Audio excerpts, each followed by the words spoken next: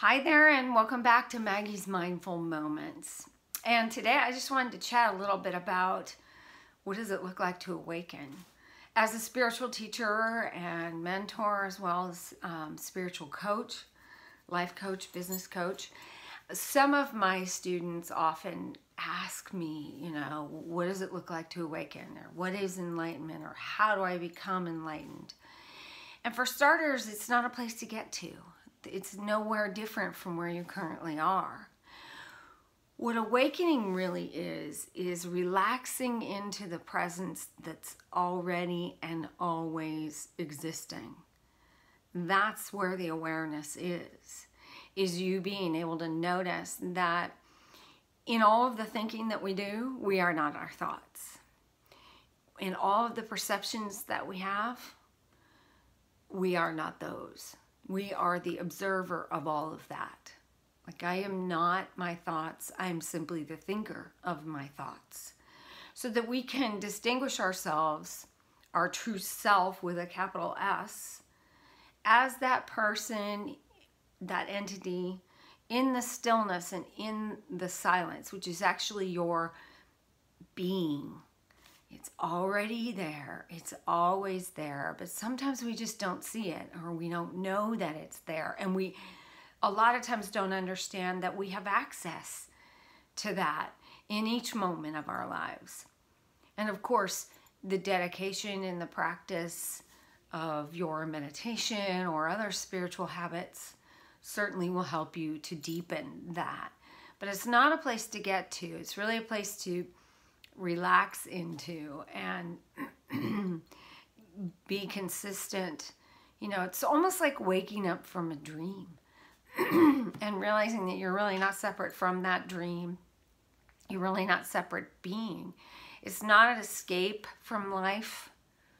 You know, this idea of awakening or um, enlightenment, or in Buddhist philosophy, it's they call it liberation that's not it's it's it's not an escape from life or the current person that you are.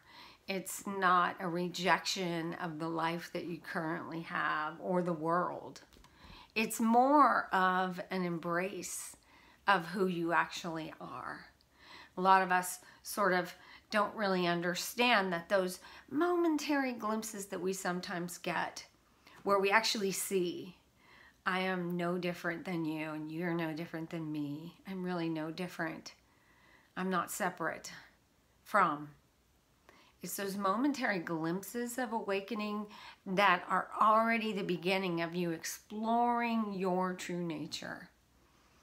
It's that and and for those students and for anyone out there who is asking how do i awaken? What does it mean to awaken? What does that look like? How will i know? Just being in that inquiry right there means you're already on the path. Because people who are not on the path don't ask that question right so you're already on the path when you're in the inquiry Remember to, as you move along in your spiritual journey, that the inquiry is sometimes more important than any other part of it. Just dwelling in the question, dwelling in the space of the question. That's really all I have today. I just thought maybe today and this week you could practice noticing your thoughts, and then notice who's watching those thoughts. Notice what you hear and what's actually hearing the thoughts.